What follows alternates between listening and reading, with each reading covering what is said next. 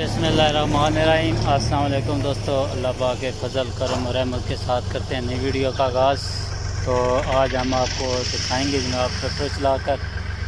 تو ویسے تو ماشاءاللہ میرا ڈرائیونگ لائسنس بنا ہوا ہے. لیکن ٹریکٹر کی جو ہے نا ڈرائیونگ میری فرسٹ ٹائم ہے. وہ آج میں نے سیکھنی ہے. تو وہ ساتھ ساتھ بتاؤں گا کہ ٹریکٹر کے جو ہے نا گیئر اور باقی ہل وغیرہ وہ کیسے یوز کی جاتی ہے، اس کے بارے میں انشاءاللہ انفارمیشن دیں گے. باقی آپ میرے پیچھے ماشاءاللہ دیکھ سکتے ہیں ٹریکٹر۔ تو انشاءاللہ اب آپ کو چلا کر دکھاتے ہیں۔ ماشاءاللہ یہ آپ دیکھ سکتے ہیں میرے پاؤں کے نیچے ریس ہے اور یہ بریک ہے۔ یہ دونوں ٹائروں کی ہے، اس کے ساتھ جو ہے نا یہ جوائنٹ لگا ہوا ہے۔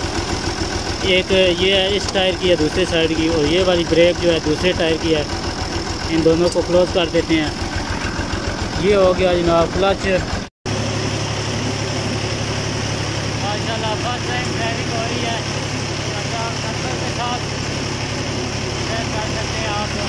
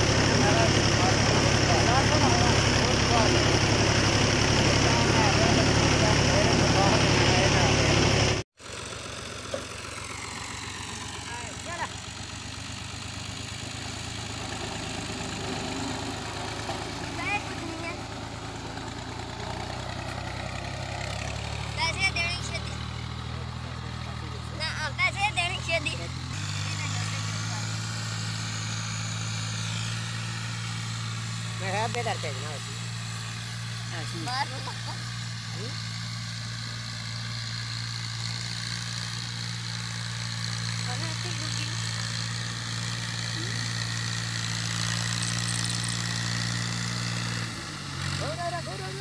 پوری ڈبی کا کٹنا ہے پوری ڈبی کٹنا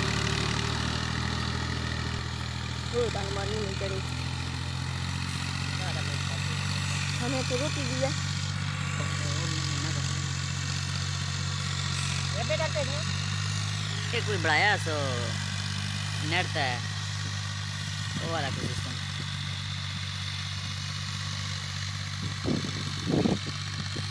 eso? ¿Qué es eso? ¿Qué es eso? ¿Qué es ¿Qué ¿Qué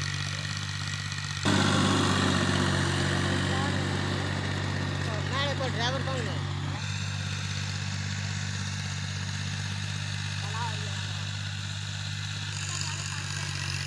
ہے کدو دانے پار کے دیتے ہیں